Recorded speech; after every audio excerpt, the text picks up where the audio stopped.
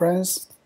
So as I mentioned in the last video and uh, I'm going to sh show you how to clone my project to your local computer and uh, do it with uh, a tool called Clasp okay? So it will be a very quick video today. So so first of all uh, you can check uh, these uh, instructions here. All right so it requires some tools installed in your computer. First one you need to install the node on computer. And of course you need to install this clasp. and the last one is, is the git. You need to install this git to clone my project to your local computer. All right so uh, if you don't know how to install them you can check the links here. It will, it will bring you to the, the page and in their page they will show you how to install them. I'm not going to do, do them here. So I'm so let me show you. If you are if you have three of them installed on computer you should be able to to check them. So node dash version and uh, clasp dash version. And the last one is git dash dash version so you should be able to see the version if you are if you have them installed on your computer. So let's clear this. So once you have all of them installed you can start this quick guide here. So the first step is to clone my project or the branch of my project to your lo local directory so to do that, you can use this command. So you basically use this git clone. So any uh, GitHub repository URL and put it here to do that. If you only want to clone the branch, you can do this. So git clone dash b uh, represent the dash dash dash branch, the branch name and the URL of the GitHub repository. Okay, so let's me try to this git clone. So let me see what folder I am here. So I'd like to go to my desktop. So I go to cd desktop. So now I'm in the desk. I'm in, I'm in desktop. Uh, I'd like to clone this repository to my desktop. Okay just to do a demo for you guys. So let me do this clone first. So here in this code button, once you click this code button, you should be able to copy this URL. So you copy this URL and then you run this git clone um, and uh, paste. So git clone URL and enter okay. So it's going to call this project to my desktop. Okay now here I have the desktop. On my desktop I have this folder created. So it's down here. Let's let's go to this uh, this folder. So in your terminal you need to if you check your desktop so you have a folder called gas uh, Vue material template. So you see the gas. So now you are in this folder. If you list the files of this folder, as you can see here, you have the files and folders in this uh, project. So let's clear this. So I'd like to open this this folder in terminal, uh, not in terminal, in the VS Code editor to show you how the files, uh, to show you the files and uh, to do it, do it in the the terminal, the integrated terminal in the VS Code. You also can do it here. It's not a issue, not a big issue. So let's code. Let's open the folder in the VS Code. So you don't have to do it in the VS Code. You can do it here. You can do all of them here. So actually, let me do it here, just in case you don't have VS Code installed. All right, so basically this template, this project is a Vue material template for the web app. It's a web app template, okay? So if you're trying to do a web app with, with Vue, you can make a copy of this template. Because I think I'm going to use this uh, template a lot. So I made a template like this. So if you check this template here, we have a very simple homepage and uh, we have a very sim uh, simple form in this template. And there is a demo app here. You can check it out. So this is the demo app.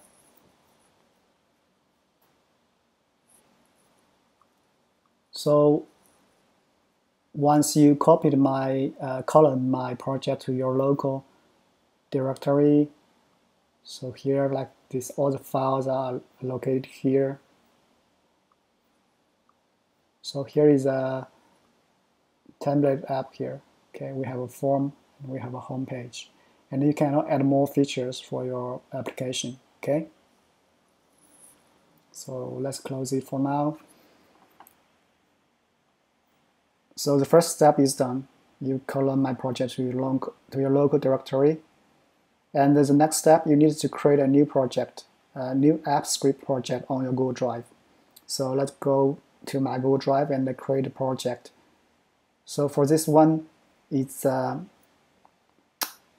it's a Google Sheet project. Okay. So if you check my my project, my Google App Script project. For each project, I think I have uh, I have app script type for them. If you check this one, 058, I think I have the app script type. So basically this app script type is the script is a file type. So if it's a Google form, that means the, the app script should be placed in a Google form. So if it's a Google Sheet, you need to create a Google Sheet and then you add the script to that to that sheet. Okay. So for this one, for this one, it's a Google Sheet. So that's why I need to create a Google Sheet.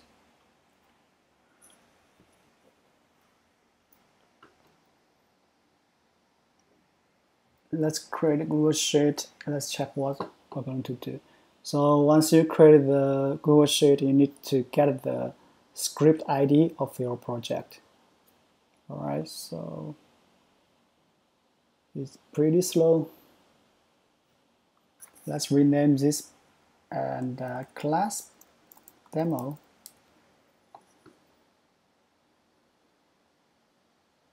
And once you create the file, you can go to the menu tools and the script editor to open the project, the script, uh, the app script project for this spreadsheet. Okay, once you open it, you, you need to rename this project clasp demo. And uh, you need to make a copy of the script ID it's still saving. So once you save it you go to files project properties. You should be able to find the ID here. You also can get the ID from the URL okay? You have uh, both options so once you get the ID you need to go to the folder So you need to go to this folder and uh, open this. Uh, actually, the file is hidden. I think the file is hidden. So if I open my VS Code editor, I have a file called .clasp.json. So I think it's hidden on my it's hidden from my folder here. Okay, so you need to replace this ID. So by default, by default, the ID is is a the file source is the source file ID of my of my Google Drive. So you need to replace it with your with the new ID of your files. So I will just uh, replace it and save it. So now it's done. I think the step step two and step three. Let me check. So step two get the ID step three you replace the ID all right? So once you do once you have the this step done you need to log in with clasp. So let's go back to the terminal. So make sure you are in this folder okay?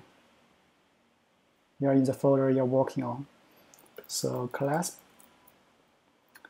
I need to log out first because I think I already logged in. So log out.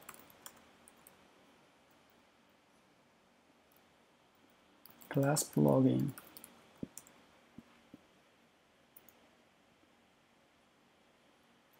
so it will bring you to this page and uh, you need to do its authorization for the app to access your data. Do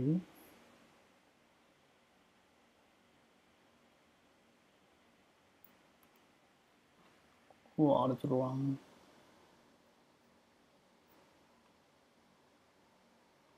Okay, I need to reload this page, I think. I found the network is pretty bad recently, I don't know why. Maybe the, the firewall is uh, up, upgrading, upgrading, I don't know. So, got this page. Allow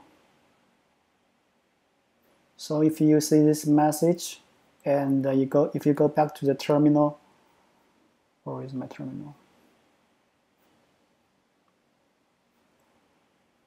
And uh, you see a message like this in your terminal, that means you are logging. So if you check, if you do a very quick check clasp, clasp login dash dash status, I think.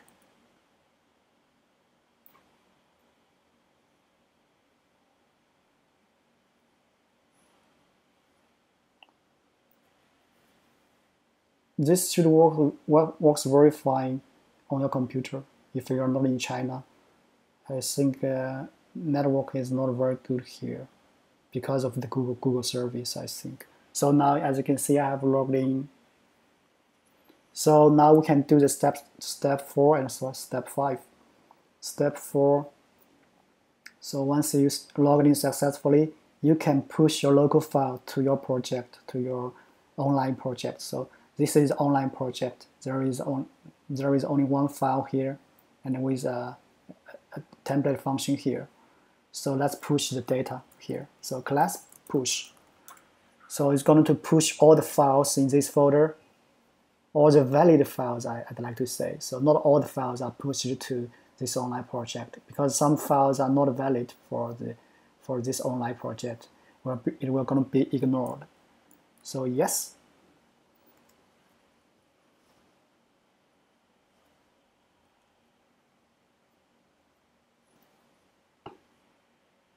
You get this question because the manifest file, by default, we have a manifest file.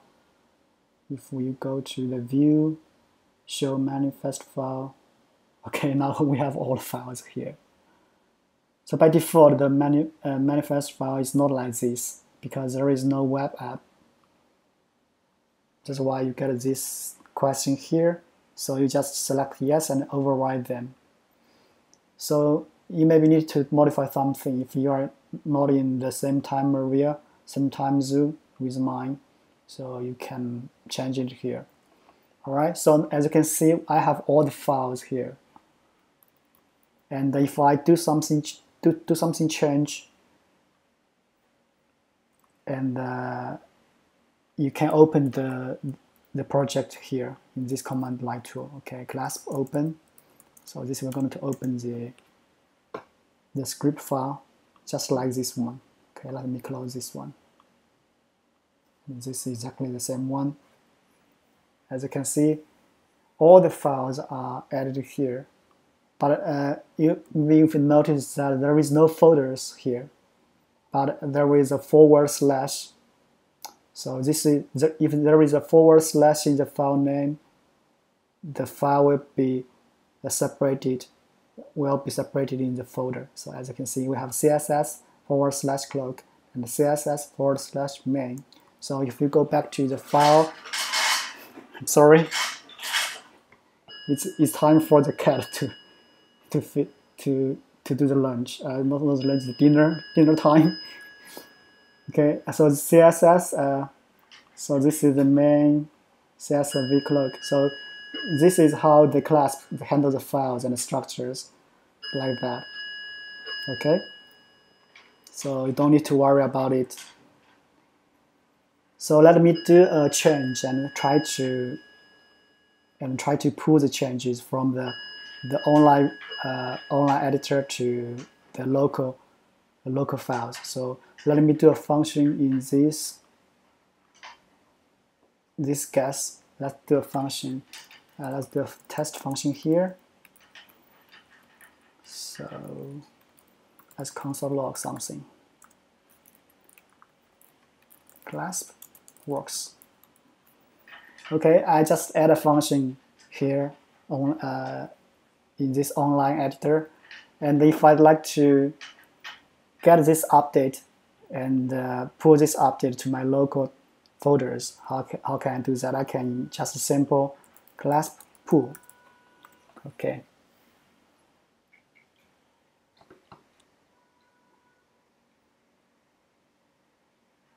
So we're going to pull all the files from the, uh, the online editor and uh, override the files on, on my computer. So now as you can see, column the 11 files. And if I go back to the file editor and check the file, this one, as you can see here, I have this update. And since I, I, I, I'm in this GitHub repository and I can highlight like this. Alright. So that, that shows me there is a modification here. This is the new stuff.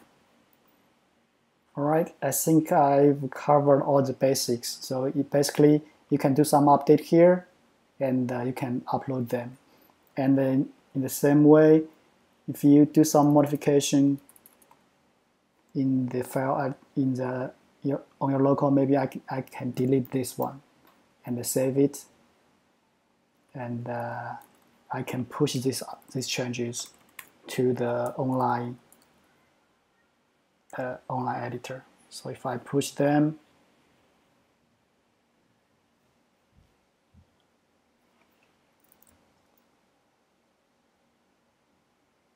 so now I have pushed 11 files. And if I try to open it clasp open. So I open, open the file. I should not see this uh, test function. So in this comment comment there is no test function there. So if I refresh this page you should, you should see the same result.